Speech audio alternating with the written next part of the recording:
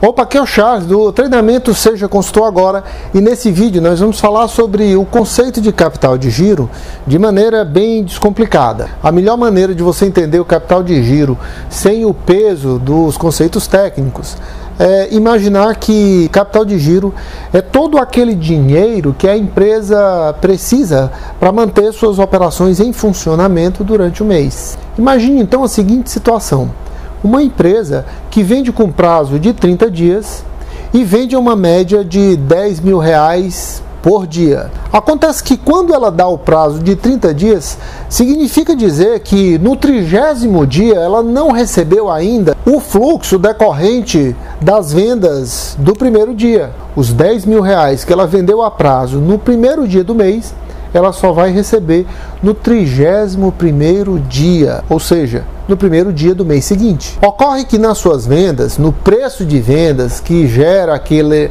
faturamento, aquele faturamento diário de 10 mil reais, já está embutido ali o lucro que o, que o empresário coloca, o, a lucratividade que ele coloca em cada peça que ele vende. Portanto, a operação que ele desenvolveu para poder produzir aqueles 10 mil reais de vendas tem um custo menor para ele. Imagine, por exemplo, que a empresa tenha uma lucratividade de 20% nas suas vendas. Para ela vender os 10 mil que vende todos os dias, ela tem um custo de 8 mil reais. Nesse caso, a necessidade de capital de giro desta empresa é, na verdade, 8 mil reais por dia, que é o que ela efetivamente precisa desembolsar ao longo do mês para produzir todas as vendas do período. Nesse caso, a necessidade total de capital de giro desta empresa seria 8 mil reais vezes 30 dias, que é o que ela efetivamente precisa todos os dias.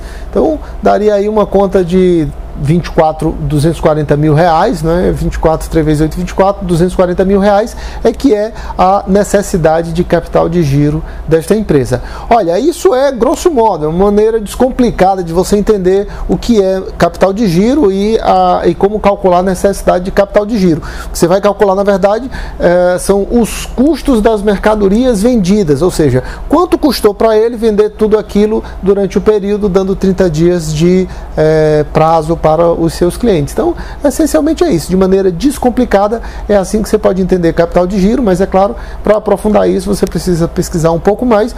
E aí eu te sugiro o meu treinamento Seja Consultor Agora. Se você ainda não conhece, aqui na descrição desse vídeo tem um link que vai te levar direto para conhecer o meu treinamento. E se você pensa em se tornar consultor empresarial, lá você vai encontrar tudo o que precisa para ingressar nessa carreira e viver integralmente da consultoria. Por hoje era isso. Muito obrigado. Um grande abraço e até a próxima.